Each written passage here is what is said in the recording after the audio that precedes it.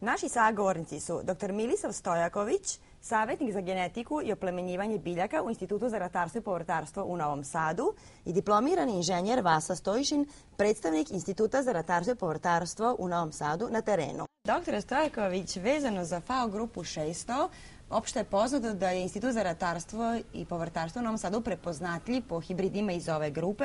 Sa ponosom kažemo da je i lider na našem tržištu, kako kod nas, tako i u svetu. Da li možete malo bliže da nam opišete ove hibride? Institut je od osnivanja ili od početka organizovan, znači na naučnim osnovama bavljanja oplemenjivanja biljaka, znači od 64. godine kad je prvi hibrid priznat, do sada u tih 5-6 decenija u svakoj od tih pojedinačno decenija jel da imao poneki favorit. E, najduže se da zadržao hibrid 640, on je već pune dve decenije prosto vodeći hibrid na, na našem srpskom tržištu i na tržištu Srbije. Ima tu nekoliko razloga. Verovatno je jedan od njih visok potencijal rodnosti. Drugi je verovatno, a što je naravno tačno, i dobra adaptabilnost, dobra prilagodljivost u uslovima gajenja. Ali je isto tako normalno da su došli, nakon svega toga došli su novi hibridi kao rezultat, jel da opet rada oplemenjivača, koji po, po prinosu svaki od njih pojedinačno nadmašuje hibrid 640.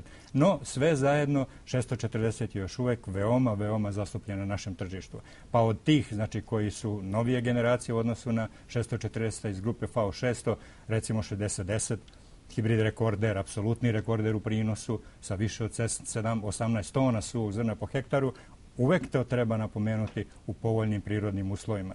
S jedne strane, kad su klimatski uslovi takvi da omogućavaju realizaciju visokog potencijala a sa druge strane onda i onda kad se nađe kod proizvođača koji da sve ono i što treba i kad treba kako bi se realizovao genetički potencijal.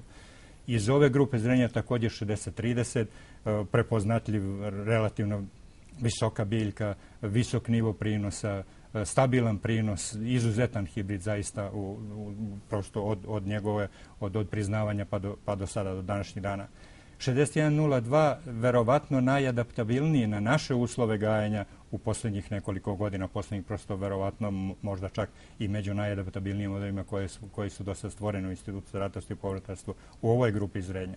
Znači, posjeduje vrlo ujednačene prinose iz godine u godinu. E, e, prepoznatljiv je i po nešto nižoj biljci u odnosu na njegove konkurente iz ove grupe zrenja. Nešto brže otpušta vlagu od ostalih iz grupe zrenja. Znači, radi se o hibridu grupe 600 sa vrlo visokim prinosima, stabilnim, zdravim klipom i ja bih rekao sasvim pouzdan u gotovo svim uslovima gajenja što su nam pokazali prethodne godine, a međusobno su se izdite kako razlikovale. E, novije u ovoj generaciji je recimo 70-20 također iz grupe zrenja 600, jako po broju se to ne bi reklo, ali se znači, radi o hibridu također veoma adaptabilnom, po genetici vrlo bliskog rođaka hibridu 6102 i što ga onda favorizuje kao hibrid također sa visokim nivom tolerantnosti na evo ove naše kar dominantne uslove proizvodnja, to je suša u letnjim mesecima. Ovaj hibrid je verovatno jedan od, od hibrida sa najkrupnijim zrnom koji na našem tržištu uopšte se može naći. E, tu je nekoliko novih, 61-40 je prošle godine praktično našao se prvi put u ogledima, pokazao izuzetne rezultate e, za proizvođače koji imaju iskustva s našim hibridima. Moglo bi se reći da je to jedna unapre, napređena, popravljena verzija hibrida 60-30. Znači, očekujemo vrlo stabilno njegovo ponašanje iz godine u godinu. U prošloj godini je bio dobar i e, prosto naravno ima sad još nekoliko u ovoj grupi zrenja koji će doći, ali to je ono što čini naš sortiment u grupi zrenja 600. A, kolega Stojšin, šta kažu proizvođači na ovu grupu hibrida i sa kojim su posebno zadovoljni hibridima iz ove grupe zrenja? Pa svakako kao što je kolega Stojaković već ovaj, napomenuo, institut sa svojom FAO 600 grupom zrenja je dugi niz decenija dominantan na ovom našem tržištu. Vratit ću se možda sa dve reči samo kratko i na, 60, e, na 640 e, e, stari hibrid koji još uvek zauzima u konkurenciji 27 semenskih kuća, 278 hibrida koji se nude na ovim našim prostorima. Hibrid 640 zauzima 10% površina.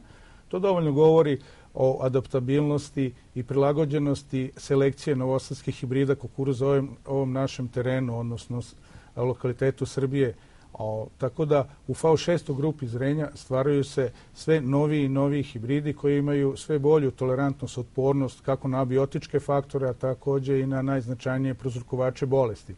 Pa evo, pomenuli smo već i 60-10 hibrid sa najvećim genetskim potencijalom sa aspekta rodnosti, ali on možda po svojim genetskim osobinama ima a, visok habitus, krupan, visoko nasađen klip, pa možda nije toliko namenjen južnom banatu, ali paralelno imamo i hibrid 60-30 koji je srednje visine, pa da ne pome, da napomenem i hibrid 70-20 koji je možda od novosadskih hibrida kukuruza a, sa najnižim habitusom, najnižim stablom, krupan klip, krupno zrno.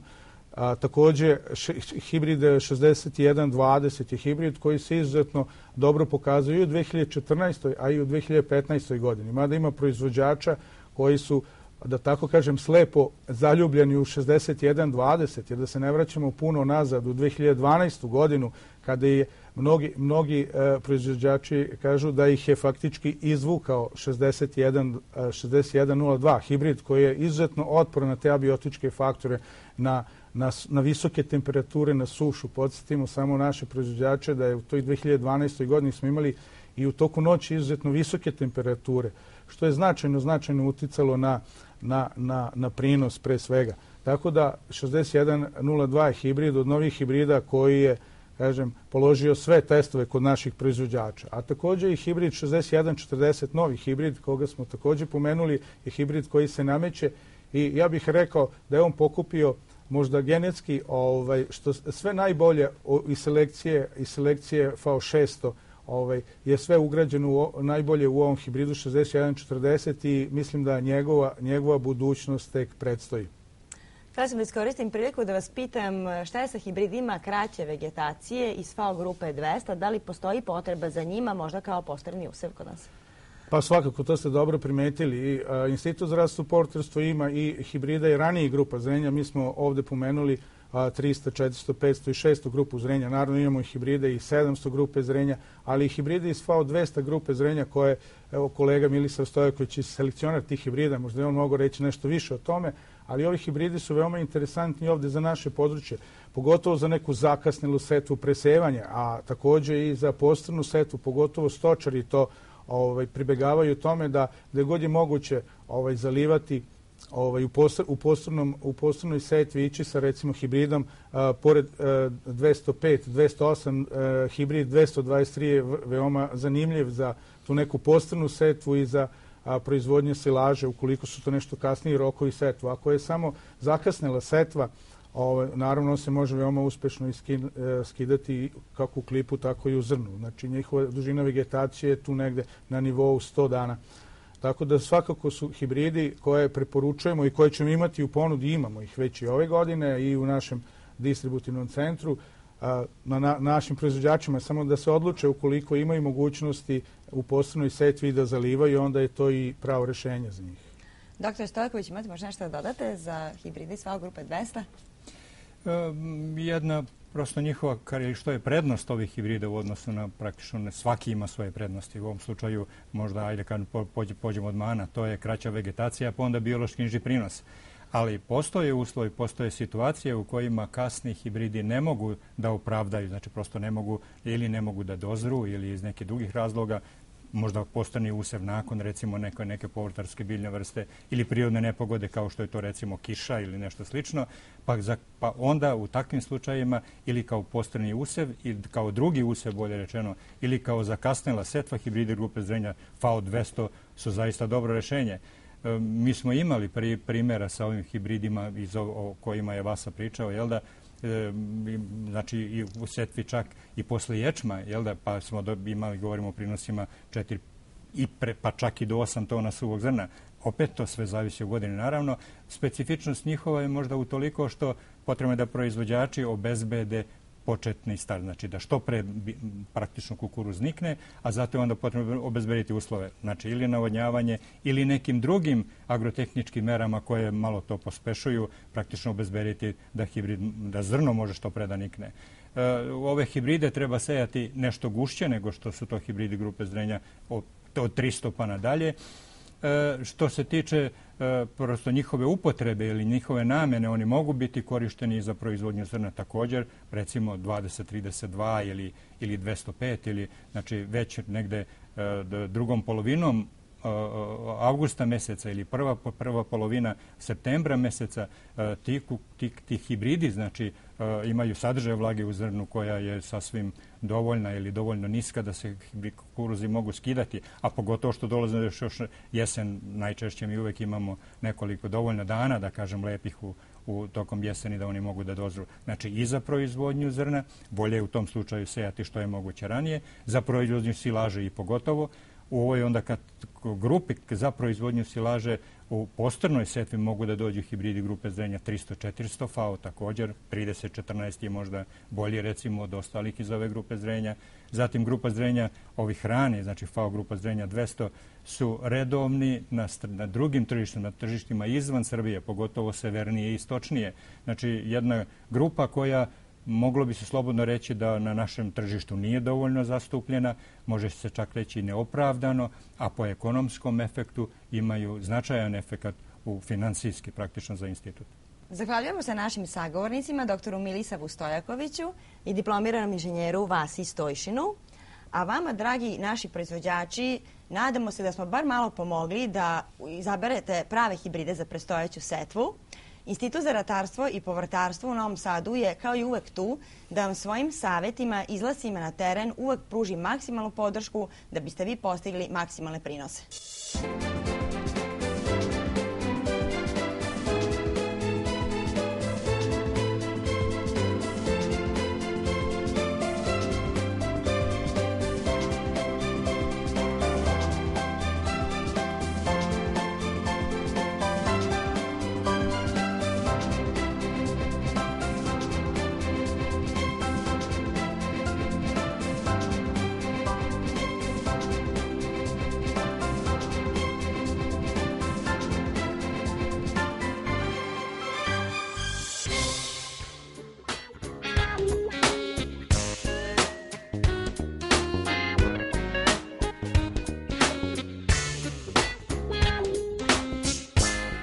Ćemo posvetiti malo pažnje, da kažem, nekim praktičnim savetima koji su za ovaj period, da kažem, dobrodošli našim poljoprivrednim proizvođačima. E, govorit ćemo o plodoredu, odnosno o plodosmeni. E, u biljnoj proizvodnji, bilo da je to ratarska ili povrtarska, neophodna je smena useva, kako prostorno, tako i vremenski. I ono što ćemo skrenuti, da kažem, praktično pažnju našim poljoprivrednim proizvođačima je par stvari gde moraju da povedu računa. Da kažem, neke osnove pre svega u povrtarstvu plodored e, je jako bitan da ne bi došlo do iscrpljivanja zemljišta, do, da kažem, e, velikog prisustva korova na tim parcelama i da recimo do širenja bolesti i štetočina. Obzirom da je uglavnom poljoprivredna proizvodnja okrenuta tržištu, rekla bih da par tih, da kažem, konkretnih saveta bi bili sledeći. Voditi računa prilikom Uh, unošenja organskog đubriva. Povrće jako dobro reaguje na stajsko đubrivo koje se unese, međutim treba znati da kažem redosled. Kupusnjače, krompir, krastavac, paradajs podnose organsko đubrivo u prvoj godini.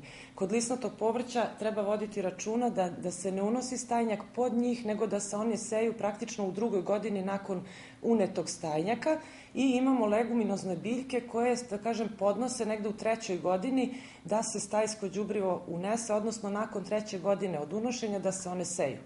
Još jedan, da kažem, eto, praktičan savet, voditi računa da se srodne biljke iz iste familije, odnosno povrtarske vrste, neseju jedna na drugu jer dolazi do upravo širenja zajedničkih bolesti i štetočina i ono što stalno skrećemo pažnju, kako u ratarskoj, tako i u povrtarskoj proizvodnji. Jako je bitno prvo odrediti kvalitet zemljišta.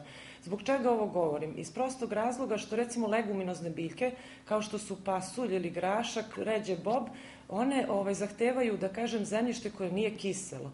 Sve ono što bi se radilo e, na tim parcelama koje su, da kažem, nepovoljne, dovelo bi do loših rezultata.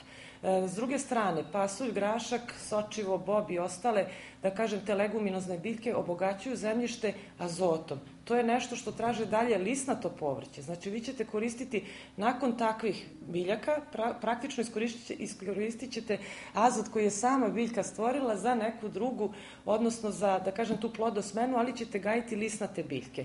E, pored toga treba posebno voditi računa da korenaste biljke, odnosno, da kažem, najviše gajeni krompir, šrgarepa i ostalo, oni traže dosta kalijuma u zemljištu. Zato za parcele gde je urađena analiza zemljišta prosto prilagoditi i đubrenje i da kažem taj plodored, odnosno plodosmenu pre svega kvalitetu zemljišta. Mesec april, pogotovo ovaj april, je izuzetno karakterističan u voćarstvu. Iz razloga što je vegetacija krenula ranije i uh, došlo je do ekspanzije mnogih štetočina, bolesti i patogena, jer promenjive vremenske prilike, visoke temperature su uslovile njihovu pojavu. Ono što je bitno da u ovom periodu rezidba treba da je već završena, ali a, mnogi poljoprivredni proizvođači nisu stigli da izvrše površinsku obradu zemljišta. Znači, a, sređivanje te površinske obrade zemljišta podrazumeva blago freziranje, uklanjanje korova ili štetočina. Istovremeno, pored toga, naši poljoprivredni proizvođači mogu da rade u ovom periodu i proređivanje plodova na različite načine, mogu da rade i upotrebu bioregulatora rasta za pospešivanje obrastanja krune u, momentu kada lastari dostignu 3 cm dužine, vrše tretman promilonom na 15 ml promilona na 1 liter vode. Istovremeno, biljke su u različitim fenofazama. Neke su velik precvetale i već je došlo do zametanja ploda, neke biljke su u periodu cvetanja, tako da moramo da vodimo računa i o samoj biljci. Šta to podrazumeva? Podrazumeva da biljka ima u se, dovoljno hranjivih elemenata da može da obavi ovu fenofazu i e, zbog toga je potrebno onog momenta kada se završi cvetanje da uđemo u fazu precvetavanja raditi prihranu. Bilo da radimo folijarnu prihranu ili da radimo e, fertilacijnu prihranu. Mnogi poljoprivredni proizvođači rade, u ovom periodu vrše sadnju bilje, voćaka I vrlo je bitno da vode računa u kakvom se stanju biljke nalaze, jer uslovno rečeno rani početak vegetacije uslovio da sad već kasnimo sa sadnjom. Da moraju da vode računa da sadnja bude pravilna i da obezbede dovoljno količine vode i da uh, navodnjavanje bude konstantno.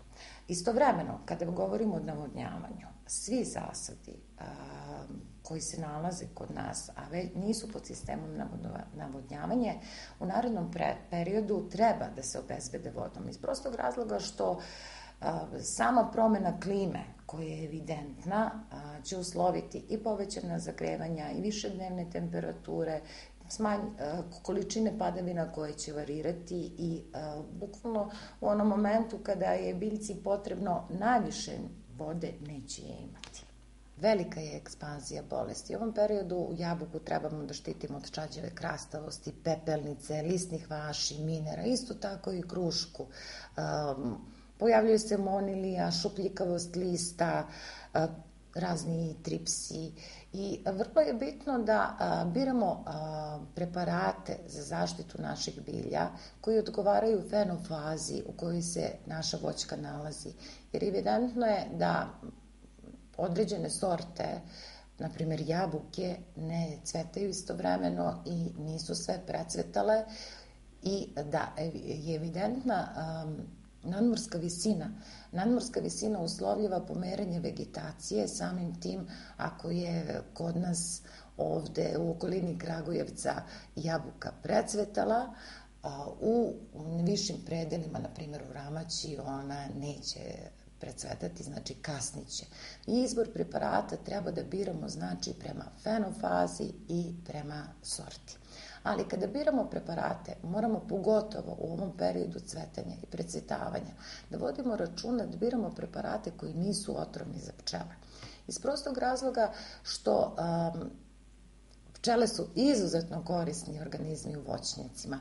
Tako da, na primer, um, voćnjaci u kojima se pčele nalaze, um, gde su zastupljene jabuke i kruške, um, daju prinos negde veći za 12 puta a kod maline, na primer, 10 puta može da bude veći prinos ako su prisutne pčele.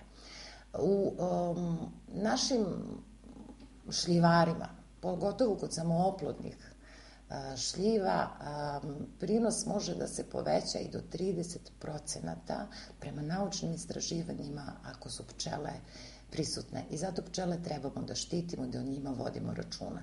Prvenstveno da biramo preparate koji nisu otrovni za pčele, ali ne samo herbici, ne samo fungicide, nego i herbicide i insekticide.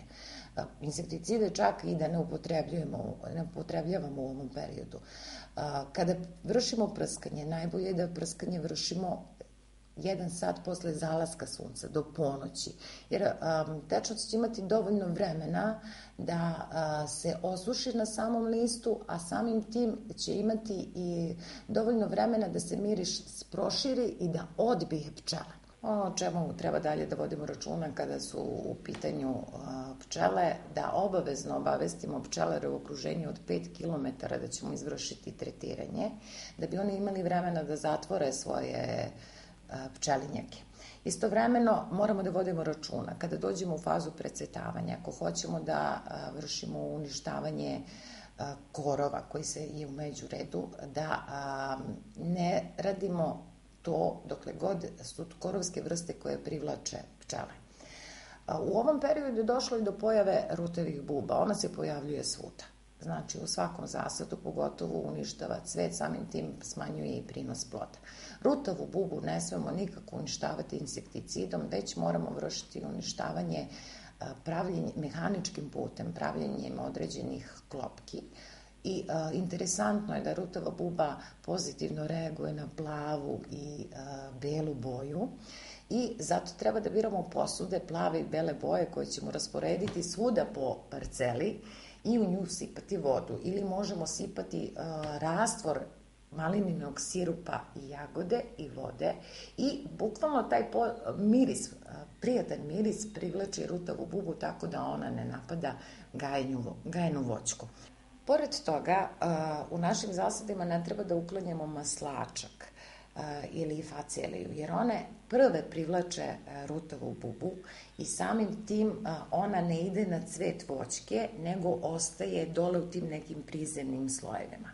U prizemnim slojevima rutava buba polaže svoje imaka i površinska obrada tog mehanička površinska obrada tog prizemnog sloja uslovljava da uništavamo imaka. A, posude koje su, su bile napunjene vodom i gde su se rutave bube udavile, ne treba baciti ili već negde skloniti, već oko samog voćnjaka treba bukvalno uginule bube rasporediti, jer taj miris odbija druge rutave bube, tako da neće doći do napada.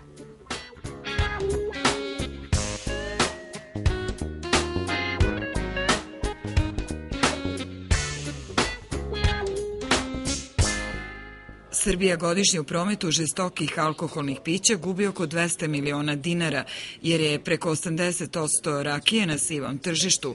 45 miliona litera rakije se proizvede, od toga je samo milion 200 hiljada litera registrovano.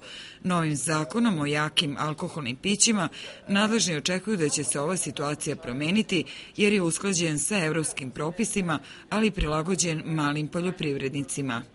Prvo morate da imate svoju ličnu kartu svoje proizvodnje. Kada se registrujete, vi u, s pomoći inspektora i obuka morate da proizvodite bezbedan proizvod. Bezbedan proizvod e, koji neće štetiti ni jednom potrošaču koji ga konzumira. Sledeća faza je da a, takav proizvod deklarišete, što ja kažem iz istinski, što bi deca rekla, to je ono što je u boci da bude i na etiketi. Znači, nema više prevara i obmane. Regionalna privredna komora pomoći će kako registrovanim proizvođačima žestokih pića, tako i onima koji žele da se legalizuju i ponude domaćem i inostranom tržištu svoj proizvod u sobstvenoj i originalnoj ambalaži. To znači da poljoprivrednik može za 290 dinara da podnese zahtev i za 1480 dinara, čini mi se, republičke takse da dobije rešenje da je registrovan proizvođač. Šta to znači? On treba sa privrednom komorom, sa inspektorima da vidi kako izgleda taj njegov proizvod, da uradi analizu i da ima svoju bocu, svoju deklaraciju, da pogleda malo zajednički da mu kažemo šta to donosi zakon u delu opisa, deklaracije, predstavljanja i reklamiranja i da ima svoju bocu u originalnom pakovanju.